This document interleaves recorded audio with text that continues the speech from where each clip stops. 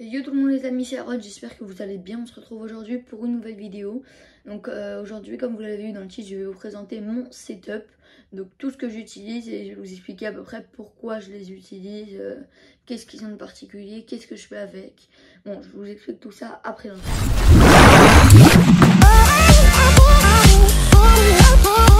Pour commencer, je vous présente mon ma bête de course, donc mon Mac. Donc c'est un MacBook Air euh, voilà, comme vous pouvez le voir ici, MacBook Air M1 2020 sur, euh, sous macOS Big Sur euh, version 11.3.1. Donc voilà, il est assez récent. Avant, j'avais un MacBook Pro de 2011, donc je peux vous dire qu'il est, est vraiment bien. il est puissant, je l'utilise pour tout, pour faire mes montages, pour tout ce que je veux faire, je peux l'utiliser. Euh, comme c'est la puce M1 de Apple, j'ai la possibilité d'avoir directement dessus euh, le, les applications euh, qui sont sur l'iPhone. J'ai la possibilité de les avoir sur le Mac. Donc là, regardez, j'utilise une protection de clavier. Voilà, que j'ai acheté avec en même temps une coque qui est juste ici. Une coque pour le protéger. Donc euh, je l'ai pris comme ça, comme ça ça lui donne un petit truc particulier, un petit flow. Donc euh, voilà, vous pouvez vraiment l'utiliser pour toutes sortes de tâches.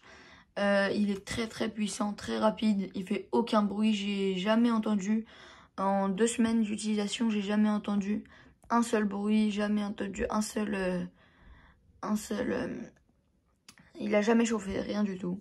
Donc après, il a deux ports USB-C et un port jack, voilà. Donc euh, moi je l'ai relié à un hub, un hub USB type C. Il est branché en HDMI, du coup sur ce hub il y a trois ports USB, euh, un port HDMI, euh, un port pour SD card et un port pour... je sais plus, voilà. Je vous mettrai le lien, tous les liens des produits que je vous présenter seront dans la description, ce seront des liens Amazon. Donc voilà, donc il est relié du coup à un à, maison, à mon écran que je vais vous présenter après, à mes enceintes de bureau et à ma webcam. Donc je vais vous présenter tout ça après. Donc franchement, il est très rapide, très puissant, vous pouvez changer ce que vous voulez. Il a Touch ID. Euh, il a tout ce que vous pouvez attendre euh, et franchement c'est il est vraiment pas pour l'instant pas besoin d'acheter un MacBook Pro le MacBook Air suffit amplement donc ensuite je vais vous présenter mon écran donc c'est un écran BenQ GW 2280. Donc c'est un écran 22 euh, pouces qui a un, qui, 60 euh, Hz qui a un temps de réponse de 5 millisecondes euh, et il fait du 1080p. Donc franchement c'est un très très très très bon écran. pour du travail, c'est pas il y a mieux pour un écran gaming, il fait quand même le taf. Donc c'est vraiment un un bon écran, je vous le conseille. Euh, il est connecté, il a un capteur de luminosité ambiante. Il est connecté du coup en HDMI. Il a deux ports HDMI, un VGA. Euh, il a les ports euh, jack. voilà. Donc ensuite, ici j'ai un écran. j'ai pardon une, une webcam Samsung.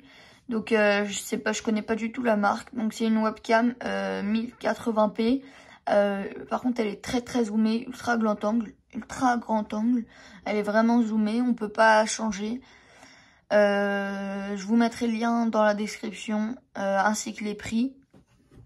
voilà. Ensuite, j'utilise comme enceinte de bureau les Creative Pebble version 2. Donc, ce sont des très bonnes enceintes de bureau qui font beaucoup le taf. Euh, elles ont un très bon son. Euh, après, c'est pas des enceintes pour écouter de la musique ou tout ça. On peut, on peut en écouter dessus, mais c'est vraiment des enceintes de bureau pour, euh, pour du travail, du travail. Pas pour jouer, pas pour tout ça. Enfin, des, elles ont un très bon prix et je vous mettrai tous les liens dans la description. Ensuite, j'utilise comme clavier le Magic Keyboard de chez Apple, le Magic Keyboard version 1. Donc c'est un bon clavier, mais si je pouvais vous conseiller, moi je pense que je vais pas tarder à acheter le Magic Keyboard qui vient de sortir avec les nouveaux iMac, avec Touch ID, tout ça. Parce qu'il a, il est beaucoup, il a beaucoup plus de fonctionnalités.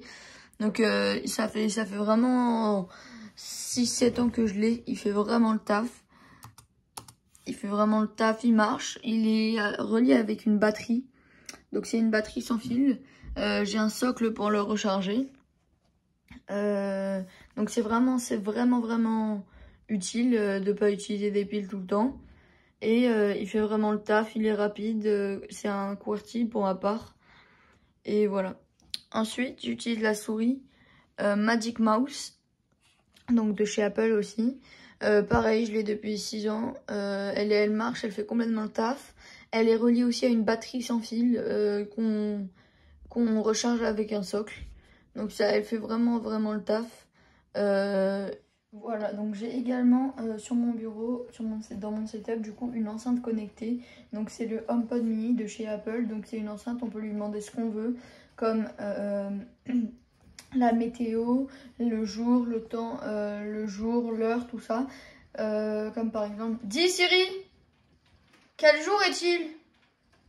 Nous sommes le mardi 11 mai 2021.